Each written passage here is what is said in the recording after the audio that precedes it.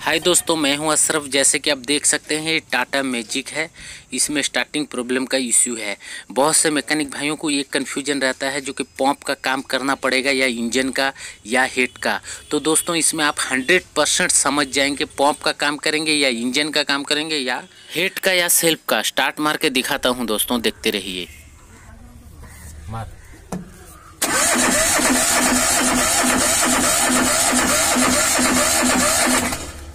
हाल यही है। दोस्तों धक्के से तो स्टार्ट हो जाता है मगर सेल्फ से स्टार्ट नहीं होता।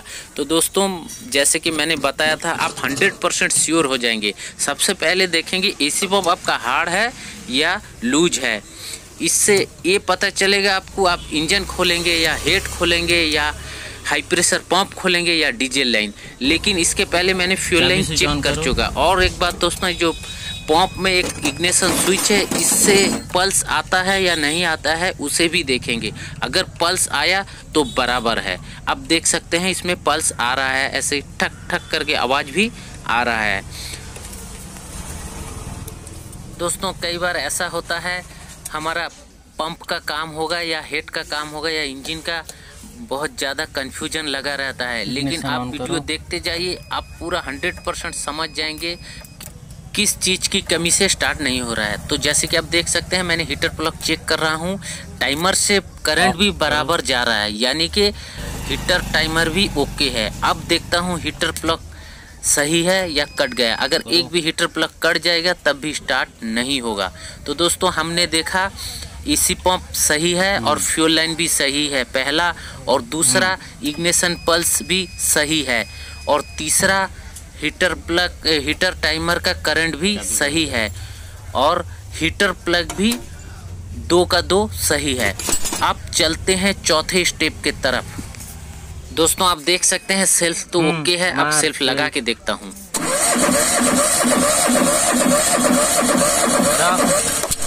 दोस्तों आपने देखा सेल्फ और बैटरी परफेक्ट है। अब इंजन बैक कंप्रेसर है या नहीं है, उसे दिखाता हूँ।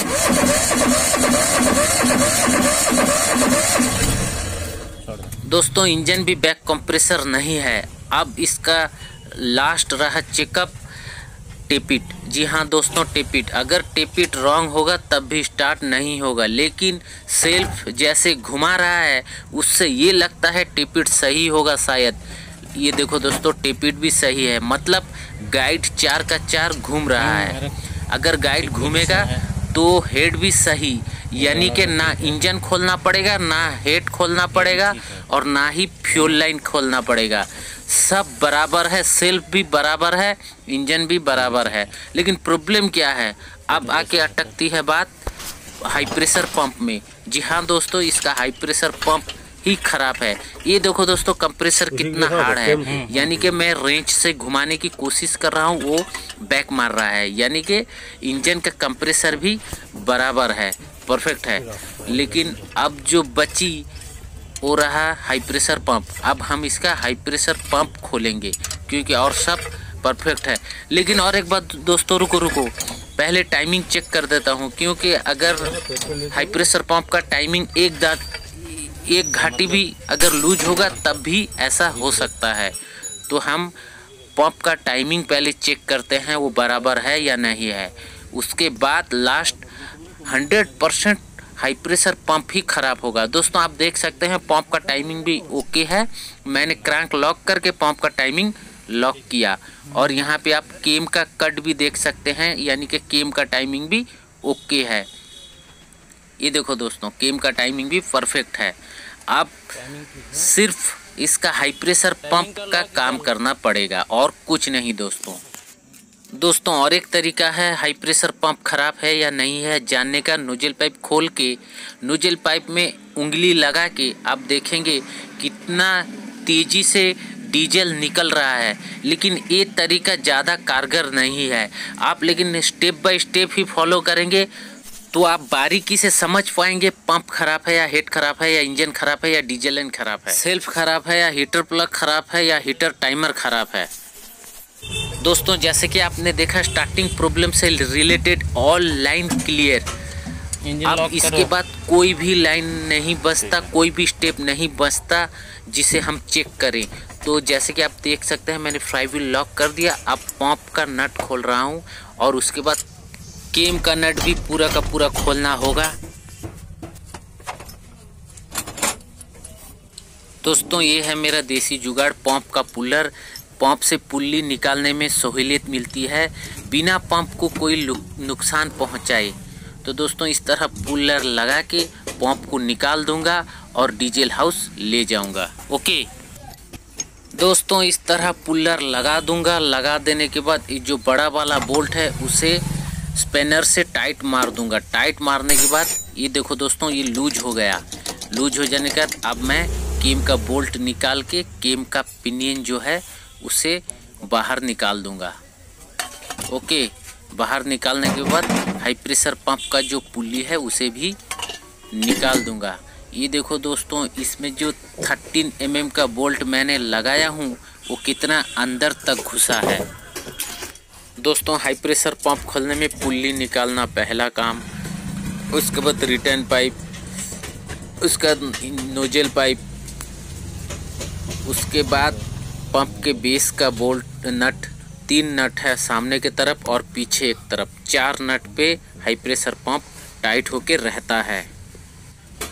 अब उसका रिटर्न पाइप एक्सीटर वेयर और मेन पाइप इसे खोलने के बाद नोजल पाइप निकाल दूँगा। दोस्तों, ये पेसल टूल्स है। इसमें कॉन्जिस्टेड एरिया का नट खोलने में बहुत आसानी होगी।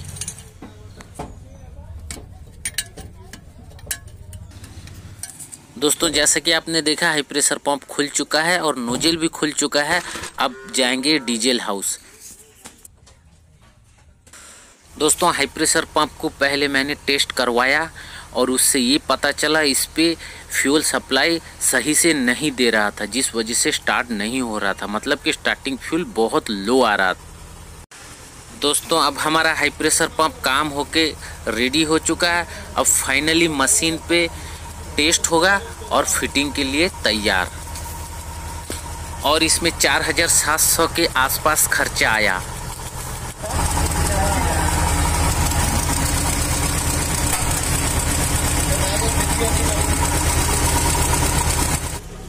दोस्तों, पंप और नोजल डीजल हाउस से काम होके आ चुका है। आप करते हैं फिटिंग और स्टार्ट मारते हैं। नोजल का वाशर लगा हुआ है, लगाने की कोई ज़रूरत नहीं। दोस्तों, वीडियो पसंद आया तो लाइक करो, ऐसे वीडियो चाहे तो सब्सक्राइब करो। अभी भी मन में कोई डाउट है, ऑटोमोबाइल से रिलेटेड मुझे कमेंट करो, मैं इसका रिप्लाई ज़रूर दूँगा। चाबी स्विच ऑन करो, अब पंप को करंट आता कहीं नहीं देख लेंगे।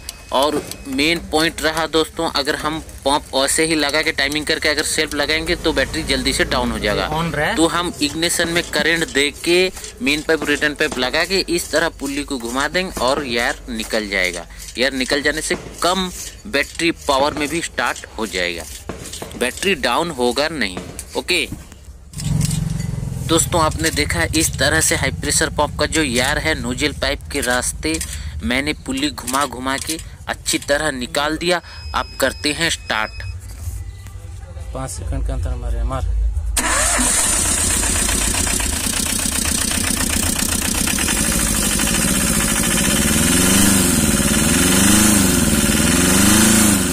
दोस्तों आपने देखा स्टार्टिंग कितना परफेक्ट हो गया पूरा हाफ़ राउंड में स्टार्ट और एक बार फिर और एक बार मार के दिखाता हूँ।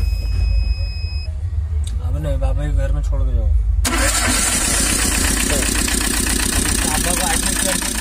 दोस्तों वीडियो पसंद आया तो लाइक करो ऐसा वीडियो चाहिए तो सब्सक्राइब करो। अभी भी मन में कोई डाउट है ऑटोमोबाइल से रिलेटेड मुझे कमेंट करो मैं इसका रिप्लाई ज़रूर दूँगा। और एक बार मार के स्टार्ट दिखाता हूँ। हम्म, दोस्तों उम्मीद है आपको वीडियो पसंद आया होगा। अगर पसंद आया होगा तो सब्सक्राइब करो। अगर पहले से सब्सक्राइबर हो चुके हैं तो लाइक करो। Thanks for watching